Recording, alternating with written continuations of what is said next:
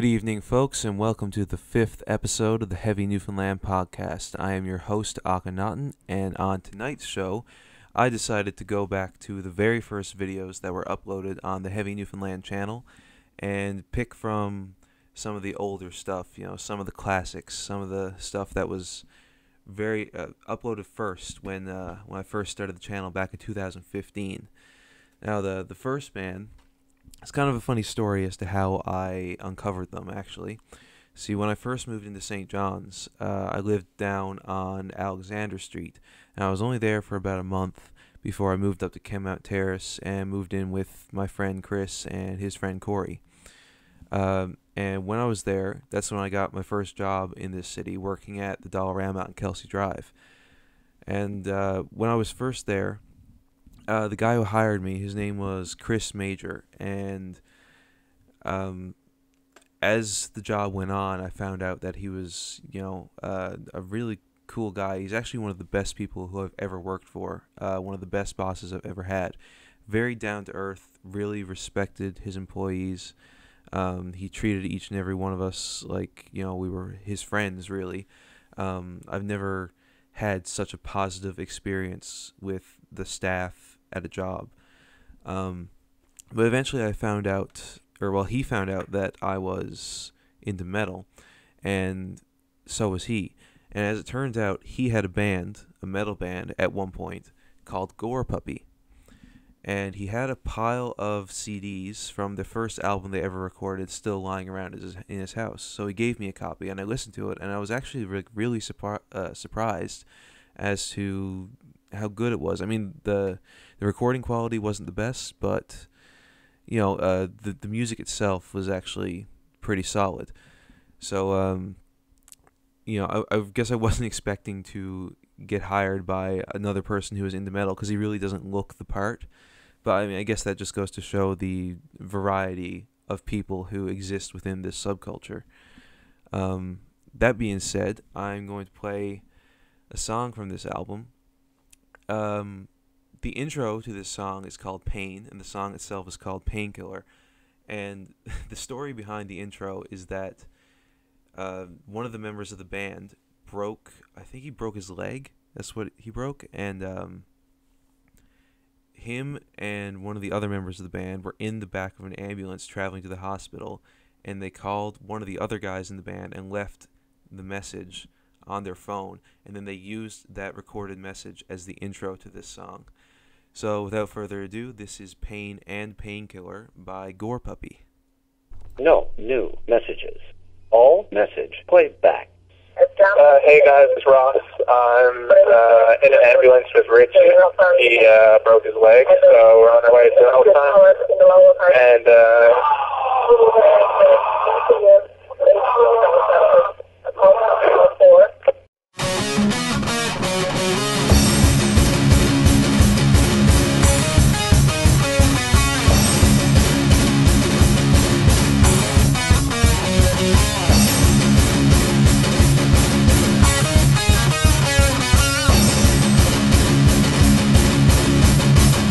that I will say things what to you Next time that you act Maybe what will come Action, settle set No more fucking game I will make you pay just say We feel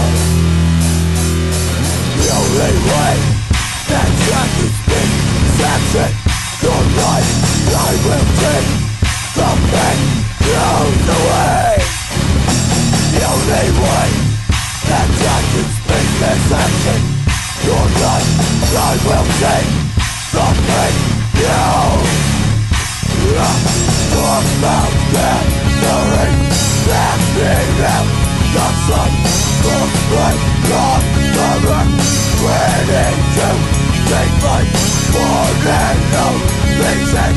On your knees You are afraid No one to save you Your life I will take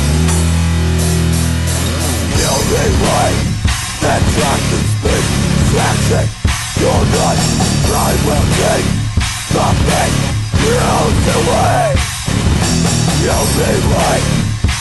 can Section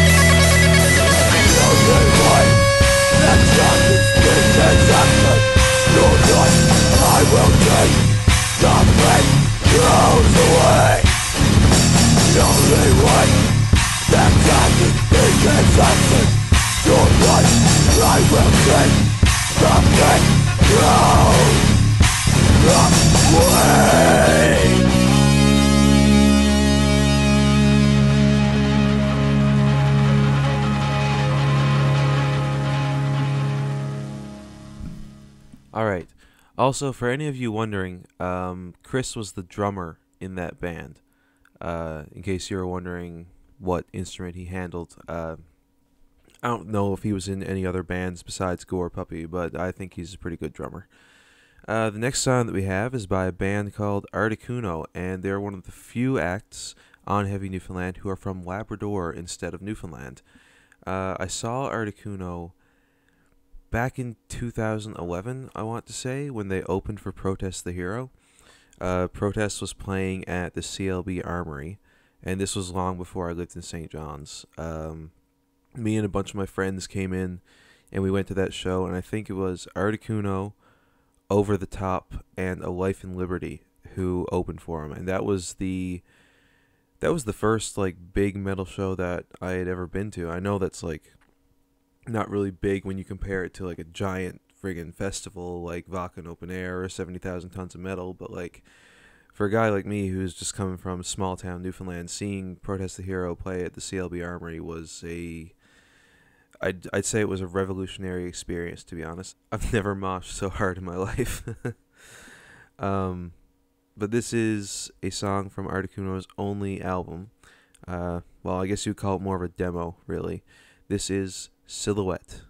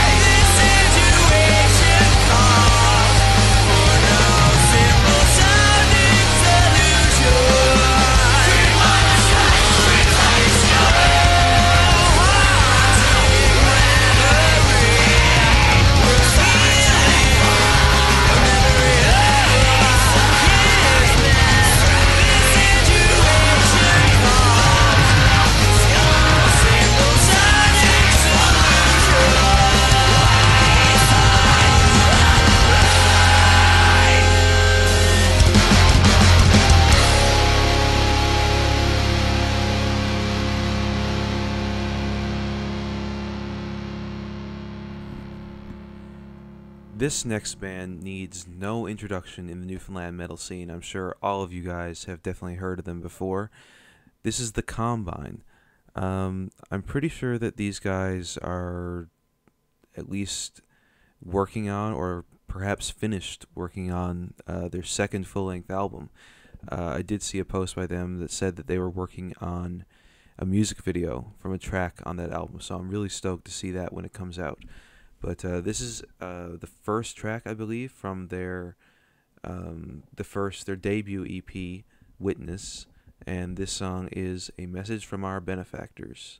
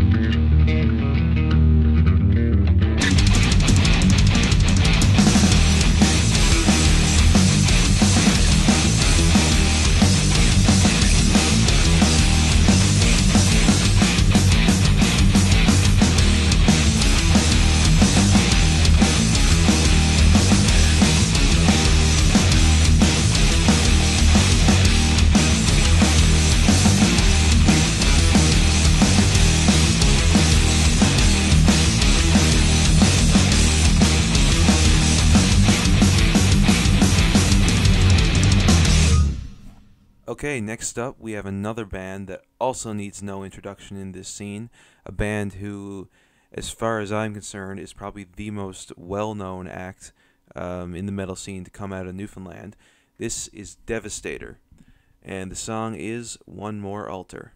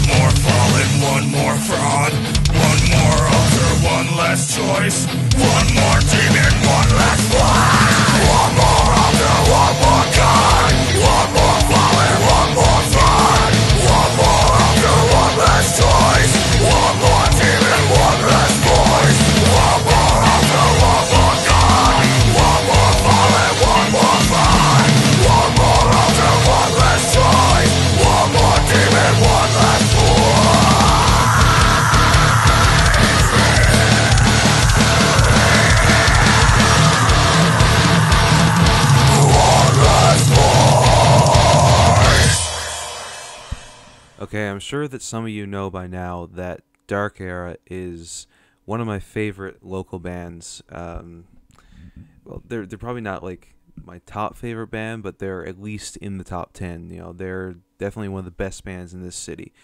Um, but back before Dark Era was Dark Era, some of the members used to play in another blackened crust punk band called Shit Legion. So this is a song by Shit Legion called Violent Past. And it's from the only EP that they ever released.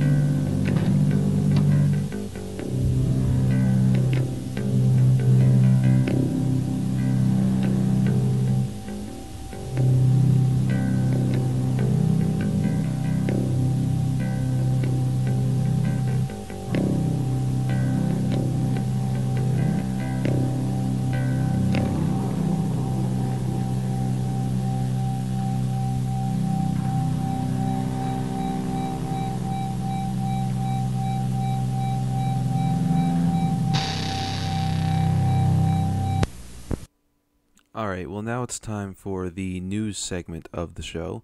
Um, we're going to keep it short today because there really, honestly, isn't a whole lot going on right now. Um, I do want to say that, uh, considering that I did just play a song by Devastator and I also played a song by Shit Legion, who is like half of Dark Era, um, I filmed Devastator's most recent show at Distortion, and that is up on the channel right now. They fucking killed it as always. Um, what else would you expect from a band who's been around as long as they have? Um, and I I went down to see Dark Era last night, as of the recording of this uh, this podcast, at the the Rose and Thistle, and of course they fucking nailed it. They're you know they're they're great. I can't really say there there is no um, positive adjective in the English language that could describe how fucking kick ass Dark Era is. It's funny actually because um, earlier in the day I ran into an old friend of mine who um, he, he doesn't live in St. John's. He's from Twillingate but lives in Placentia currently. And um, he told me he comes into St. John's every weekend, but he had never seen this band play. So uh, he told me that he was headed down to the show, and I was like, man, you're gonna have your fucking mind blown by this band. And uh, throughout their entire set, he just kept looking at me like, you know, like holy shit, this band is incredible. So um, yeah, like uh, just not just not much I can say. I mean, I guess I'm starting to sound like um, like a fanboy, really. But uh, I mean, you know, they kick ass. There's there's not much else to say besides that. Uh, anyways, in regards to new albums, um, for the past four episodes of the podcast that I've been doing, uh, there has been several albums that uh, you know I've been talking about that are currently in the works by the local bands uh, that you know still haven't come out yet. So I'm just gonna I'm gonna dispense with those. I'm not gonna get into much detail about them. Um, I will say that Sinews is coming out with a new release quite soon, and they did just release a new song. It's not up on the Heavy Newfoundland channel yet, but it was released on the Sinews SoundCloud page, uh, and there's a link to that on the Heavy NFLD Facebook page. So if you want to listen to the new Sinews song, go over to Heavy Newfoundland and check that out on our Facebook page. In regards to shows, um, not a whole lot going on anytime soon from what I can gather. There's two shows happening this week. On Thursday, we have May the 4th Be With You on May 4th, of course, at the Rock House. Um, we have Monolithic Sorcerer, Fuck the System, and The Shining Wizards playing. It's uh, it's nice to have a show on a Thursday night, you know, so um, you don't have to wait a full week until Friday and Saturday to get your your your metal fix. You know, it's good to go down on you know a regular weekday instead of on the weekend. Uh, and then on May 5th at the Rose and Thistle, we have Goreforge, Sinews, and Smoke Signals, and that's sure to be a fucking kick-ass show. Can't wait to go to that one. I'm hoping that if I go down, I'll be able to film Sinews, and uh, also if I go to the one at the Rock House on Thursday, my intention is to film Monolithic Sorcerer, so that'll be two more live videos up on the channel following that. Um, also, when I was at that show last night, uh, the Dark Era show, I did film Cider Squadron 666. So that video will be up. And the night before that, I was at the Rock House and I filmed Dog's Blood, the Alexisonfire cover band. So that video will also be up shortly. Um, that's it for our news segment for this episode. Um, the next song that's coming up is by a band who I think like half the members of Devastator are in this band. This is uh, Endometrium with Hungry Ghouls Baked Body Parts.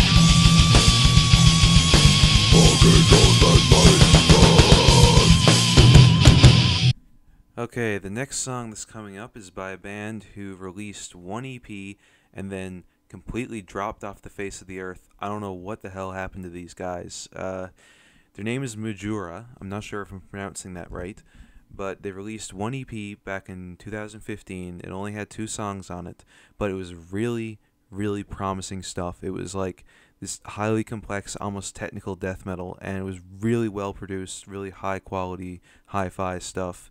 Um, and on their Bandcamp page, it said that they were going to release a full length debut album the following year. So the EP came out in 2015. The following year would have been 2016.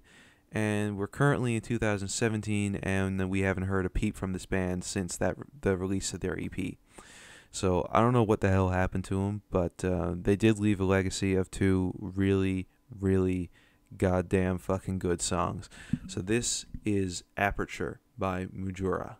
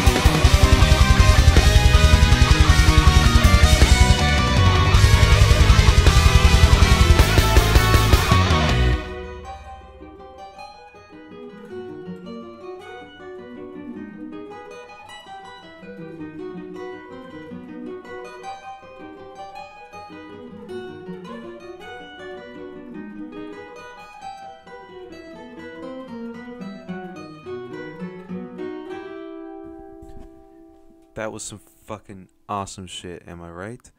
Uh, the next band that we have is uh, Horrific Death, and they were showed to be by Andrew Marsh, um, the guy who plays guitar and sings for Winterhearth.